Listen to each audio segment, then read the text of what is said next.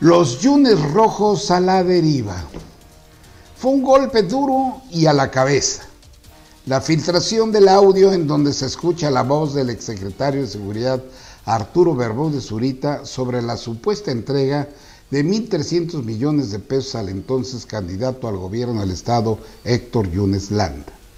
Conforme pasan los días en las redes sociales, ha causado cierto desconcierto, sobre todo cuando el aludido está siendo investigado muy cerca por la FEPADE y todo indica que el senador Yunes Landa, presidente de la Comisión Anticorrupción del Senado, está pasando por una severa crisis de credibilidad.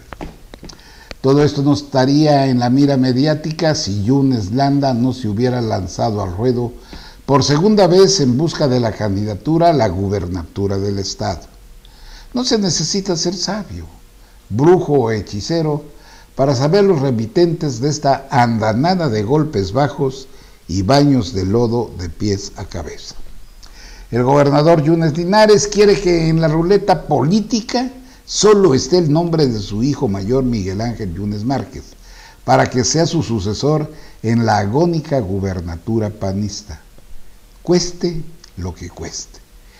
No en vano a estas alturas el propio gobernador se ha convertido en recaudador de lo que será una guerra terrorífica a la gubernatura del 2018.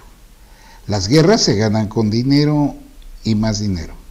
Aunque don Miguel Ángel es un hombre multimillonario, no está dispuesto a meter un solo peso de su bolsa a la campaña de su hijo para, para que sea quien lo sustituya. Para quienes conocen al gobernador, toda su vida ha sido un codo miserable. En esto siempre ha sido superado por el exgobernador Fidel Herrera, a quien se le puede acusar de todo. Pero no se le puede negar que es un político más completo que ha dado el crisol veracruzano. Inteligente, sensible, conciliador y audaz.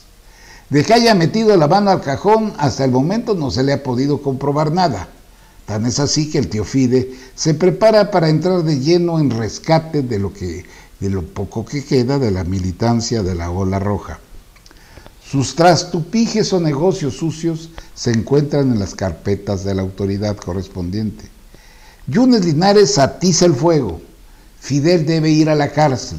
Los grandes negocios que llevó a cabo con Obredesh lo ponen con un pie en una celda fría y a una cama de piedra, tal como lo corre la misma suerte su antecesor Javier Duarte, ahora preso en Matamoros, Guatemala.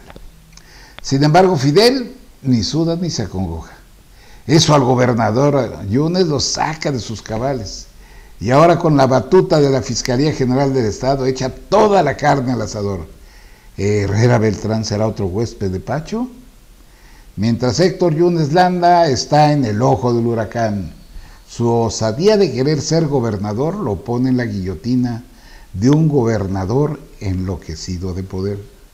Su defensor de oficio, el senador José Yunes Zorrilla, quema sus naves y se enconcha en busca del apoyo peñanietista. El turco infunde miedo, y no es para menos.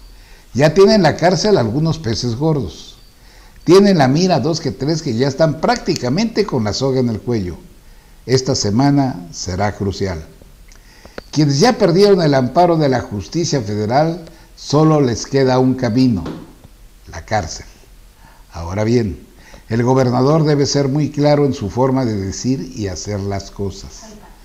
Dice el refrán, no hagas cosas buenas que parezcan malas, ni malas que parezcan buenas. Eso de permitir que los pillos delincuentes que saquearon las finanzas de Veracruz se tomen la foto del recuerdo con el mandatario y con una sonrisa cínica y vergonzante es demasiado lamentable. Hay una sola lectura. ¿Le vale madres al gobernador o ya hubo arreglo por debajo de la mesa? Mientras tanto, el PRI no tiene candidato firme y ganador para la gubernatura del Estado. Héctor y Pepe están espantados y no es para menos. El turco es capaz de lo inaudito. ¿Usted qué opina? Soy de ustedes su amigo y servidor David Barona Fuentes. Lo invito para que me escuche usted. Aquí nos vemos el miércoles. Habrá, tenemos una, habremos de tener un invitado especial, con tiempo le diremos a usted.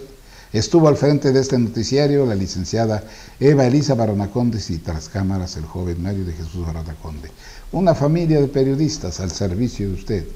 Y yo, como siempre, le doy las más expresivas gracias. Hasta la próxima.